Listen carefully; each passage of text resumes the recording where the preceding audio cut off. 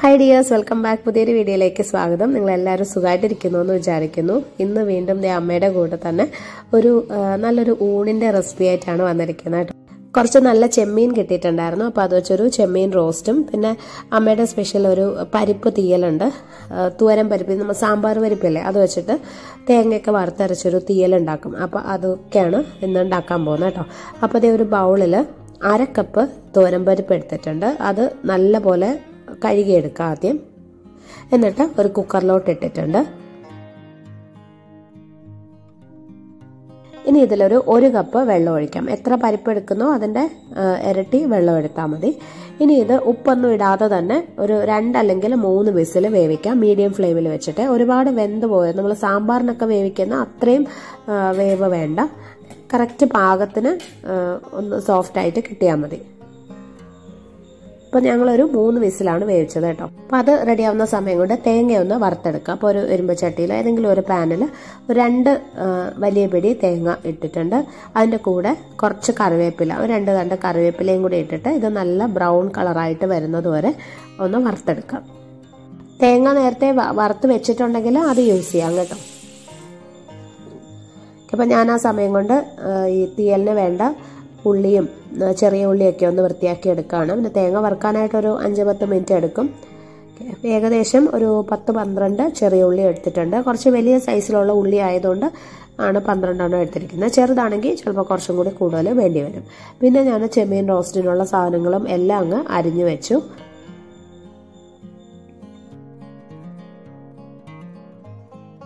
അപ്പോൾ തേങ്ങ ദേ ഇതുപോലെ നല്ല ബ്രൗൺ കളറായി കഴിയുമ്പം പൊടികൾ ചേർക്കാം. ജസ്റ്റ് ഒരു അര ടീസ്പൂൺ മഞ്ഞൾപ്പൊടി രണ്ടര ടീസ്പൂൺ മുളക് പൊടി. ഇത് കാശ്മീരി മുളക് പൊടിയാണ് കേട്ടോ എരിവില്ലാത്തത്.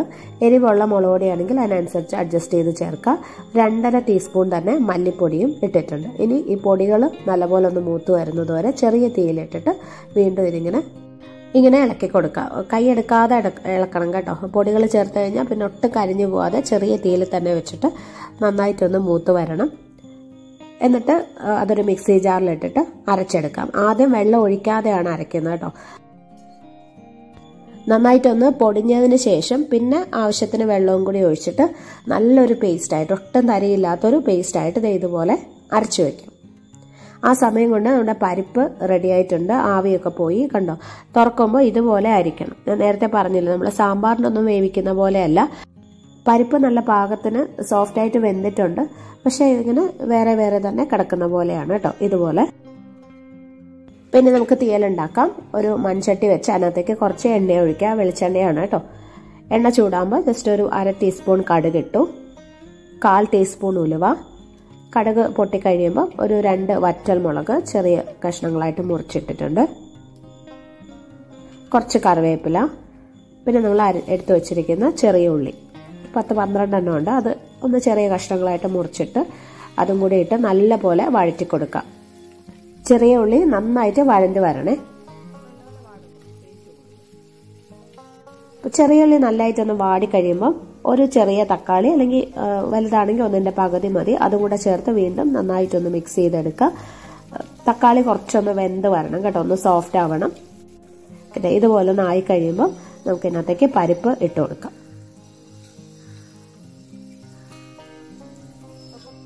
എല്ലാം കൂടി നന്നായിട്ടൊന്ന് മിക്സ് ചെയ്തെടുക്കാം. ഇനി അരപ്പ് ചേർത്ത് കൊടുക്കാം. കുറച്ച് വെള്ളവും കൂടി ഒഴിച്ച് ഒന്ന് ലൂസാക്കിയിട്ടുണ്ടായിരുന്നു കേട്ടോ. ഇനി ആ മിക്സി ജാറിൽ തന്നെ ആവശ്യത്തിന് വെള്ളം ഒഴിച്ചിട്ട് അതും കൂടി ഇതിനകത്തേക്ക് ചേർത്ത് കൊടുക്കുക ഏകദേശം ഒരു ഒന്നര രണ്ട് കപ്പോളം വെള്ളം ഒഴിക്കുന്നുണ്ട്. പരിപ്പായതുകൊണ്ട് കുറച്ചൊന്ന് കുറുകി വരും. പക്ഷെ ഒരുപാട് ലൂസായി പോവുകയും ചെയ്യരുത്. ഒന്ന് മിക്സ് ചെയ്യുക ഇനി ഇതിൽ ആവശ്യത്തിനുള്ള പുളി വെള്ളം കൂടി ഒഴിച്ചു കൊടുക്കണം. പുളിയുടെ അളവൊക്കെ നിങ്ങൾക്ക് അഡ്ജസ്റ്റ് ചെയ്ത് ചേർക്കാം. ഇതിപ്പോൾ ചെറിയൊരു നെല്ലിക്കയുടെ വലുപ്പത്തിനുള്ള പുളി ജസ്റ്റ് ഒരു രണ്ട് ടേബിൾ സ്പൂൺ വെള്ളത്തിൽ ഒന്ന് മിക്സ് ചെയ്ത് വെച്ച് ഒഴിച്ചതാണ്. ആവശ്യത്തിനുള്ള ഉപ്പും കൂടി ഇട്ടിട്ട് ഇത് അടച്ചു വെച്ച് വേവിച്ചെടുക്കാം. നല്ലപോലെ ആവശ്യത്തിന് കുറുകി മുകളിൽ എണ്ണയൊക്കെ തെളിഞ്ഞ് വരണം. അടുത്ത ഞാനിനി കൊഞ്ച് റോസ്റ്റ് ഉണ്ടാക്കാൻ പോവാണ് കേട്ടോ. അപ്പോൾ ഒരു പാൻ വെച്ചിട്ടുണ്ട്. അതിനകത്തേക്ക് ആവശ്യത്തിനുള്ള എണ്ണ ഒഴിച്ചു കൊടുക്കാം. വെളിച്ചെണ്ണ തന്നെയാണ്. എണ്ണ ചൂടാകുമ്പോൾ ജസ്റ്റ് ഒരു അര ടീസ്പൂൺ കടുക് ഇട്ടു. ഒരു ചെറിയ പിടി തേങ്ങാക്കൊത്ത്. നിർബന്ധമില്ല പക്ഷെ ചേർത്ത് കഴിഞ്ഞാൽ നല്ലൊരു ടേസ്റ്റാണ് തേങ്ങാക്കൊത്തിന്റെ അളവൊക്കെ നിങ്ങൾക്ക് അഡ്ജസ്റ്റ് ചെയ്യാം. ജസ്റ്റ് നല്ല പോലെ ഒന്ന് വഴറ്റി കൊടുക്കുക. അത് ചെറുതായിട്ടൊന്ന് മൂത്ത് തുടങ്ങുന്ന സമയത്ത് തന്നെ ഒരു വലിയ സവോള കനം കുറച്ച് അരിഞ്ഞത് ഇട്ട് കൊടുക്കുക. ഈ സവോളയ്ക്ക് പകരം ചെറിയ ഉള്ളി എടുക്കുകയാണെങ്കിൽ കൂടുതൽ ടേസ്റ്റ് ആണ് കേട്ടോ. പിന്നെ അത് വൃത്തിയാക്കി എടുക്കാനൊക്കെ ഇച്ചിരി പാടല്ലേ? അപ്പോൾ എളുപ്പത്തിന് വേണ്ടിയിട്ട് ഞാൻ സവോള എടുക്കുന്നു എന്നേ ഉള്ളൂ. അതിന്റെ കൂടെ ഒരു പച്ചമുളകും കൂടി ഇട്ടിട്ട് നല്ലപോലെ വഴറ്റി കൊടുക്കുക. നന്നായിട്ട് ഒരു ബ്രൗൺ കളറായിട്ട് വരണം. അപ്പോൾ എത്രത്തോളം നമ്മൾ സവോള വഴറ്റുന്നു കൊഞ്ച് റോസ്റ്റിന് അത്രയും ടേസ്റ്റ് ഉണ്ടാവും കേട്ടോ. അപ്പോൾ ഇതുപോലെ നന്നായിട്ടൊന്ന് വാടി. ചെറുതായിട്ട് നിറം മാറി തുടങ്ങുന്ന സമയത്ത് ഇതിനകത്തേക്കൊരു ഒന്നൊന്നര ടീസ്പൂണോളം ഇഞ്ചി വെളുത്തുള്ളി ചതച്ചതും കൂടി ഇട്ട് കൊടുക്കാം. എന്നിട്ട് വീണ്ടും നന്നായിട്ട് വഴറ്റിയെടുക്കുക. ഞാൻ പറഞ്ഞ പോലെ സവോള അത്യാവശ്യം നന്നായിട്ട് തന്നെ ഒന്ന് ബ്രൗൺ ആയിട്ട് വരണം. അപ്പോൾ ഇതേ സവോള നല്ലതായിട്ട് ഇങ്ങനെ ഒന്ന് നിറം മാറി വന്നു കഴിയുമ്പോൾ പൊടികൾ ചേർക്കാം. അര ടീസ്പൂൺ മഞ്ഞൾപ്പൊടി രണ്ടര ടീസ്പൂൺ മുളക് പൊടി കാശ്മീരി മുളക് പൊടിയാണ് രണ്ടര ടീസ്പൂൺ തന്നെ മല്ലിപ്പൊടി. ഇത്രയും ചേർത്തിട്ട് ആ പൊടികളുടെ ഒരു ചുവ മാറുന്നത് വരെ നന്നായിട്ട് വഴറ്റിയെടുക്കുക. ചിലപ്പോൾ ഞാൻ ഇതിനകത്ത് കുറച്ച് ഗരം മസാലയും കൂടിയൊക്കെ ചേർക്കാറുണ്ട് കേട്ടോ. ഒരു കാൽ ടീസ്പൂൺ ഇന്നിപ്പോൾ ഇട്ടിട്ടില്ല. അപ്പോൾ വേണമെങ്കിൽ ചേർക്കാം. ഇതിനകത്ത് കുറച്ച് കുരുമുളക് പൊടിയും കൂടി ഇടാവേ. അര ടീസ്പൂണാണ് പിന്നെ കുരുമുളകിന്റെ അളവ് നിങ്ങൾക്ക് ഇഷ്ടം പോലെ അഡ്ജസ്റ്റ് ചെയ്യാം കേട്ടോ. കുറച്ചും കൂടെ നല്ല എരിവിലൊക്കെ വേണമെന്നുണ്ടെങ്കിൽ കൂടുതൽ ചേർക്കാം. നല്ലപോലെ പൊടികളൊന്ന് മൂത്ത് വരണം. ഇനി ഇതിനകത്തേക്ക് നമ്മൾ വൃത്തിയാക്കി വെച്ചിരിക്കുന്ന അര കിലോ കൊഞ്ച് ഇട്ട് കൊടുക്കുക. ഇന്നിപ്പോൾ ഇതിനകത്ത് ഞാൻ തക്കാളി ചേർത്തിട്ടില്ല കേട്ടോ. കുറച്ചും കൂടെ ഒന്ന് ഡ്രൈ ആയിട്ടിരിക്കുന്ന രീതിയിൽ ഉണ്ടാക്കാനായിട്ടാണ്. അപ്പം അതുകൊണ്ടാണ് തക്കാളി ഒഴിവാക്കിയത്. നിങ്ങൾക്ക് വേണമെന്നുണ്ടെങ്കിൽ ഒരു ഒരു തക്കാളിയുടെ പകുതിയൊക്കെ ചേർക്കാം. അത് ഇഷ്ടം പോലെ ചെയ്യാം. ഒരല്പം വെള്ളം ജസ്റ്റ് ഒരു രണ്ട് മൂന്ന് ടേബിൾ സ്പൂൺ മാത്രം ഒഴിച്ചിട്ടുണ്ട്. ആ പൊടികൾ താഴെ കരിഞ്ഞു പോകാതിരിക്കാനായിട്ടാണ്. തക്കാളി ചേർത്തിട്ടില്ലാത്തതുകൊണ്ട് കുറച്ച് ഡ്രൈ ആയിരിക്കും. പിന്നെ അതിൽ കൂടുതൽ വെള്ളം ഒഴിക്കേണ്ട ആവശ്യമില്ല. കാരണം ഈ കൊഞ്ചിന്ന് തന്നെ ആവശ്യത്തിന് വെള്ളം വരും. അപ്പോൾ അതിൽ തന്നെ വെന്ത് കിട്ടും. നന്നായിട്ടൊന്ന് മിക്സ് ചെയ്ത് പാകത്തിനുള്ള ഉപ്പും കൂടി ഇട്ടിട്ട് ചെറിയ തീയിൽ അടച്ചു വെച്ച് കുക്ക് ചെയ്യുക ഇടയ്ക്കിടയ്ക്ക് തുറന്ന് ഇളക്കി കൊടുത്താൽ മതി. മുകളിൽ കുറച്ച് കറിവേപ്പിലയും കൂടി ഇട്ടിട്ടുണ്ട് കേട്ടോ. അപ്പോൾ നമുക്കത് അടച്ചു വെക്കാം. ആ സമയം കൊണ്ട് തന്നെ ഇവിടെ തീയൽ റെഡി ആയിട്ടുണ്ട് മുകളിൽ എണ്ണയൊക്കെ തെളിഞ്ഞു വന്നു. ആവശ്യത്തിന് കുറുകിയിട്ടും ഉണ്ട്. പിന്നെ ഇത് പരിപ്പായതുകൊണ്ട് കുറച്ച് സമയം നമ്മൾ ഉണ്ടാക്കി വെച്ച് കഴിയുമ്പം കുറച്ചുകൂടെ ഒന്ന് കുറുകിയൊക്കെ വരും. അപ്പോൾ കറക്റ്റ് പാകത്തിനായിരിക്കും. അപ്പോൾ ഇത് റെഡിയായി അടുത്തത് ഇനി ഒരു അവിയലാണ് ഉണ്ടാക്കാൻ പോകുന്നത് കേട്ടോ. അപ്പോൾ നിങ്ങൾക്ക് ഇഷ്ടമുള്ള കയ്യിലുള്ള വെജിറ്റബിൾസ് ഏത് വേണമെങ്കിലും യൂസ് ചെയ്യാം. അപ്പോൾ ഞാൻ ഇന്ന് എടുത്തിരിക്കുന്നത് ഒരു ക്യാരറ്റ് ഒരു ചെറിയ കഷ്ണം വെള്ളരിക്ക ഒരു ചെറിയ ഏത്തയ്ക്ക ഒരു ചെറിയ മുരിങ്ങയ്ക്ക ഒരു കഷ്ണം പടവലങ്ങ ഒരു ചേമ്പ് ഒരു ഉരുളക്കിഴങ്ങ്. ഇത്രയാണ്.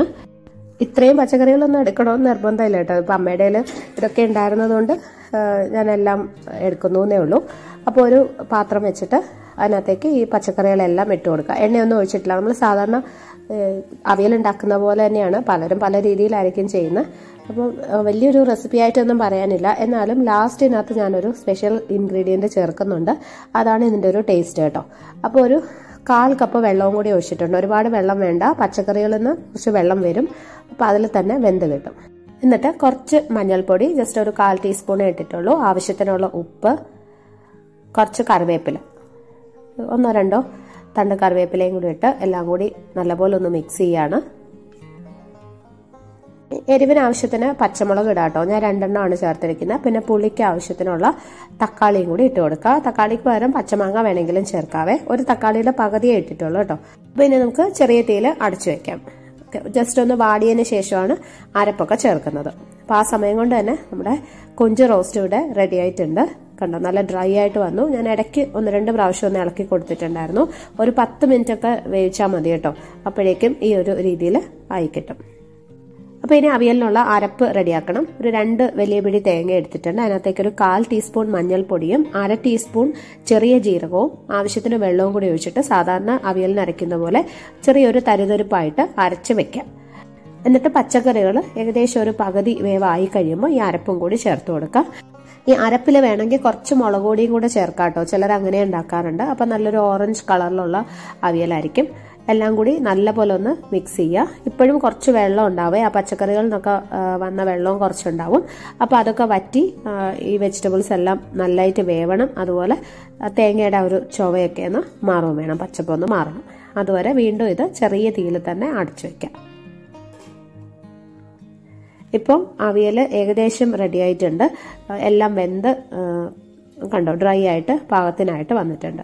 ഇനി ലാസ്റ്റ് ഇതിനകത്ത് നമ്മൾ സാധാരണ പച്ച വെളിച്ചെണ്ണ ഒഴിച്ചാണ് എടുക്കുന്നത്. അല്ലെ? അതാണ് അവിയലിന്റെ ഒരു ടേസ്റ്റ് അതിന് പകരം ഞാൻ ചേർക്കുന്നത് ഒരു അര ടീസ്പൂൺ നെയ്യാണ്. ഇതാണ് ഈ അവിയലിന്റെ പ്രത്യേകത. ശരിക്കും നല്ല സൂപ്പർ ടേസ്റ്റിയാണ് കേട്ടോ. നെയ്യുടെ ആ ഒരു ടേസ്റ്റ് മുന്നിട്ട് നിൽക്കുമൊന്നുമില്ല പക്ഷെ ആ അവിയൽ കഴിക്കുമ്പോൾ തന്നെ നിങ്ങൾക്ക് ഒരു പ്രത്യേക രുചി ഉണ്ടാവും. വെളിച്ചെണ്ണ ചേർക്കുന്നേക്കാളും ഒരു നല്ലൊരു ടേസ്റ്റാണ് അപ്പോൾ ഈ ഒരു കുഞ്ഞ ടിപ്പ് നിങ്ങൾ ട്രൈ ചെയ്ത് നോക്കണം കേട്ടോ. അപ്പോൾ ലാസ്റ്റ് ഇതിന്റെ കൂടെ തന്നെ കുറച്ച് കറിവേപ്പിലയും കൂടി ഇടുന്നുണ്ട്. അവിയൽ ഞാൻ നേരത്തെ പറഞ്ഞ പോലെ പലരും പല രീതിയിൽ ഉണ്ടാക്കും. എങ്ങനെ നിങ്ങൾ ഉണ്ടാക്കിയാലും ലാസ്റ്റ് എല്ലാവരും വെളിച്ചെണ്ണ ഒഴിക്കുമല്ലോ. അതിന് പകരമായിട്ട് നെയ്യ് ഒന്ന് ചേർത്ത് നോക്കണം കേട്ടോ. അപ്പോൾ എല്ലാം റെഡിയായി ഇനി നമുക്ക് ഊണ് വിളമ്പാം. അമ്മയുടെ സ്പെഷ്യൽ പരിപ്പ് തീയൽ അവിയലും പിന്നെ കൊഞ്ച് റോസ്റ്റ് അപ്പോൾ ഊണ് റെഡിയായി ഞാൻ കഴിക്കാൻ പോവാണ്. ഈ റെസിപ്പീസ് ഒക്കെ നിങ്ങൾക്ക് ഇഷ്ടമായിട്ടുണ്ടാവുമെന്ന് വിചാരിക്കുന്നു. ട്രൈ ചെയ്ത് നോക്കണം. ഇഷ്ടമായെങ്കിൽ ഫ്രണ്ട്സുമായിട്ടും ഫാമിലിയായിട്ടൊക്കെ ഷെയർ ചെയ്യാനും അതുപോലെ ചാനൽ സബ്സ്ക്രൈബ് ചെയ്തിട്ടില്ലാത്തവരാണെങ്കിൽ ചെയ്ത് സപ്പോർട്ട് ചെയ്യാനും മറക്കരുത്. അടുത്തൊരു നല്ല വീഡിയോ ആയിട്ട് നമുക്ക് വീണ്ടും കാണാം. Bye friends thank for watching